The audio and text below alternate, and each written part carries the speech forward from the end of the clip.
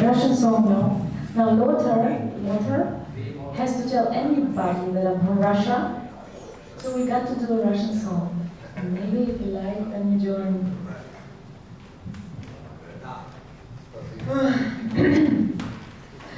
Очень